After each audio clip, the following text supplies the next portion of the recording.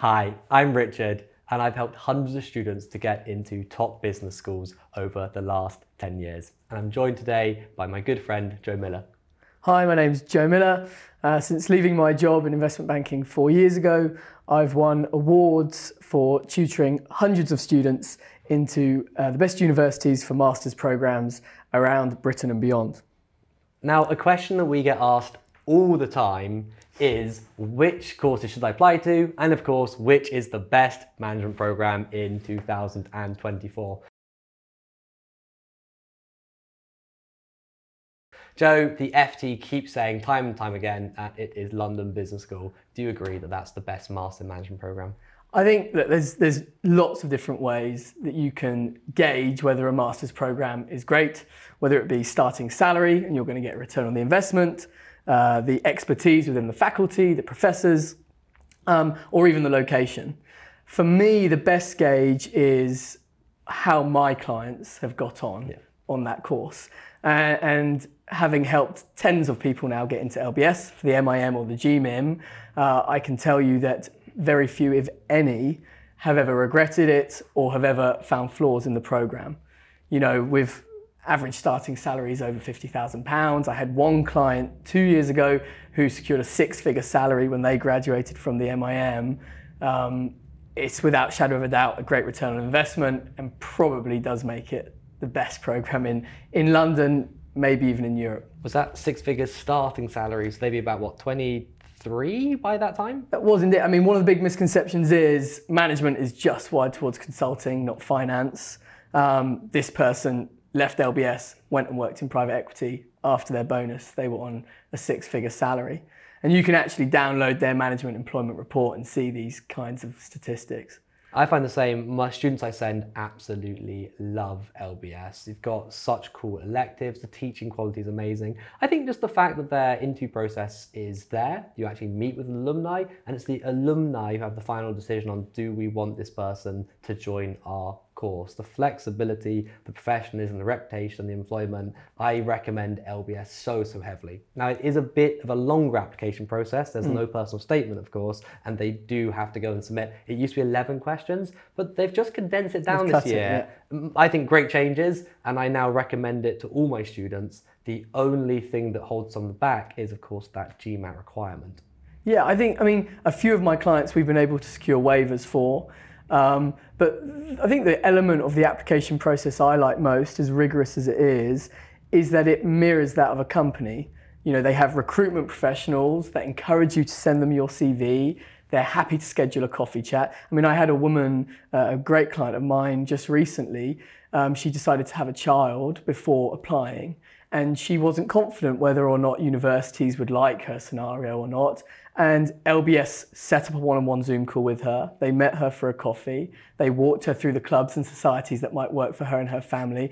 And this kind of individual support is very unique, and we don't really see it in, in many other universities. And actually, one of the hidden criteria we talk about those those pros in the interviews is your networking ability. So LBS, it's not just good to go through open day; it will actually help you to name drop who you met in the application when they ask, "Have you met anybody?" And you say, "Oh no, I haven't yet." Yeah. That's actually a massive red flag. They want you to say, "I met this person." They'll then reach out to them and they'll say, "Oh, they were absolutely brilliant." So a huge tip.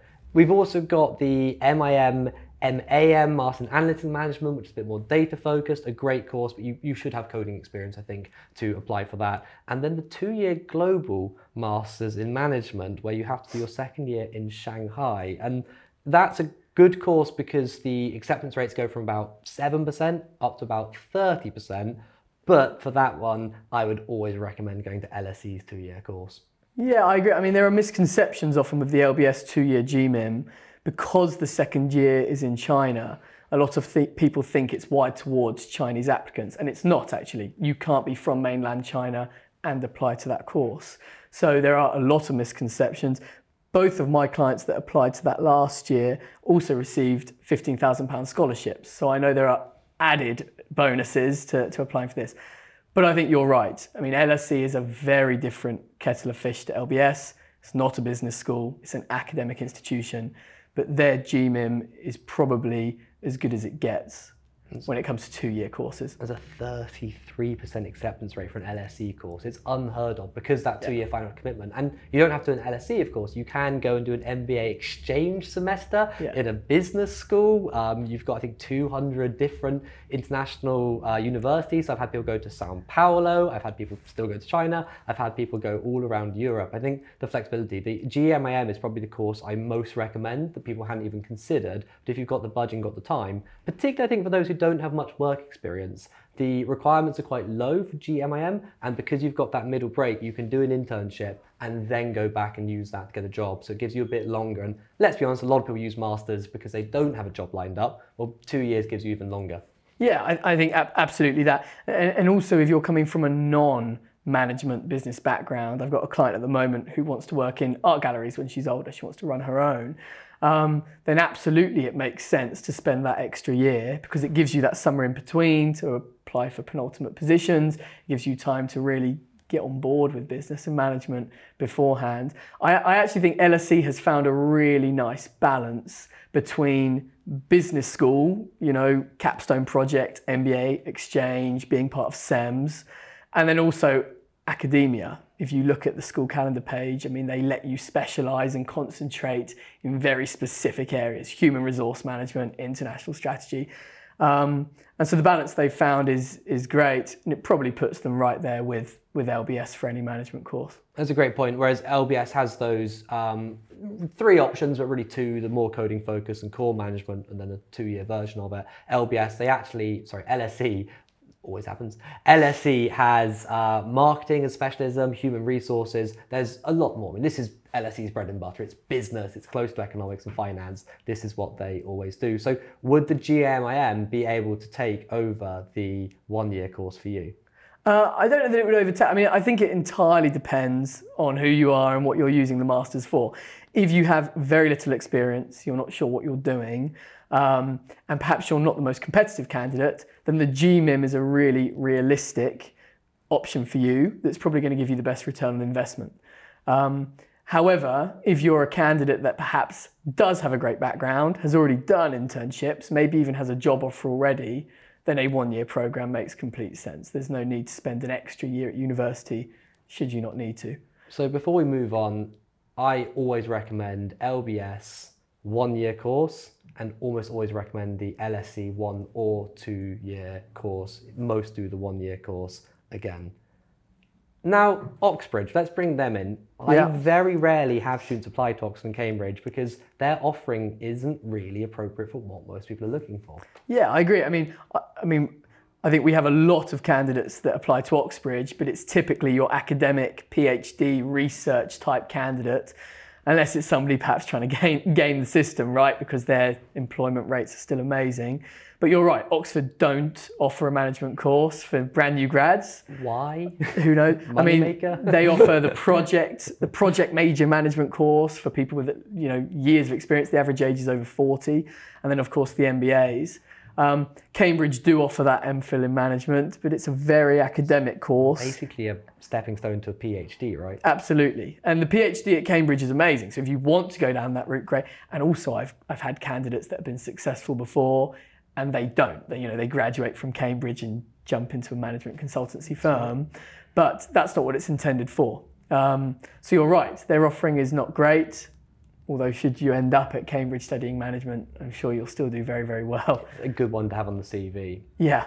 Let's go wider. So LSE, LBS always, Oxbridge only really if we're looking for a PhD and want to commit you know, three, four years. Um, there's a few around the rest of the world that we can bring in. We've also got Imperial and UCL. Now, Imperial and UCL I think are both quite similar. I typically recommend Imperial over UCL, although the application process right now is like 3,000 words and many questions. It's quite quite time consuming. Yeah. But what I love about those is both of them are really good sort of backdoors into finance. Now, to get into finance, you basically have to have a first class these days, but a 2-1 is perfectly acceptable for Imperial or UCL, and their specialisms and their pathways allow you to specialize in finance. So I spend a lot of time telling candidates they're probably not quite strong enough for the finance degree, but they can still become a banker via Imperial and UCL. So I often bring those in for both management and finance applicants Yeah. as a really, really good alternative to straight finance. I think the Imperial one's really interesting. You know, Imperial is historically a STEM university teaching maths, physics, chemistry, and the like. Um, and several years ago, it started this business school. It's now branched out even into undergrad courses. Um, the thing that I like most about management is they have two programs management for people from a non business background, and international management for people from a business background. So, actually, they really cater towards people that have studied history, sociology, psychology, and whatnot. Um, so, you're right, it's a great stepping stone. Has it proven itself as a business school like LBS um, or as a university in social sciences like LSE? Not for me. Um, so, yes, it's an elite it's an elite university. Do I rank it with LSE and LBS? No, I don't. Almost always a backup unless someone's got a very specific they want to push through. Yes. So let's bring in a couple of internationals. There's so many around the world we can bring in, but what would be your number one international program if you were to bring it in? I think you can't go wrong with INSEAD. Um, although the university I would say that is very, very popular now is IE. Um, lots and lots of students are applying to IE, whether it be as a backup or otherwise. Um, they have invested a huge amount of money into a very swanky Canary Wharf style building. I don't know, you can Google it, like this amazing black skyscraper um, in Madrid. And it attracts a lot of candidates. So I, I would probably say one of those two. I think for me, just to finish up quickly, international, I mean, MIT Sloan, amazing. Yeah. Probably the only one I see people consistently turn down, even LBS and LSE for. I also really rate the HEC, the Build a Bear degree of management. The amount of elective and specialism tracks and these additional certificates, they are amazing for employment opportunities. And they seem to be the best in the world right now at getting you any job that you want because that flexibility and ranking. Right, so I think our final ranking here is LBS one year, LSE one or two year, depending on your credentials, and then probably for me, Imperial or UCL as a backup, and maybe one of IE or HEC, unless you're really strong, in which case MIT might go above. Absolutely. I think we probably need another video. You mentioned an American university there. I mean, that, that probably needs an entirely new video. We could talk about American universities all day. But I absolutely agree. I think LSE and LBS continuously prove themselves as being a cut above the rest.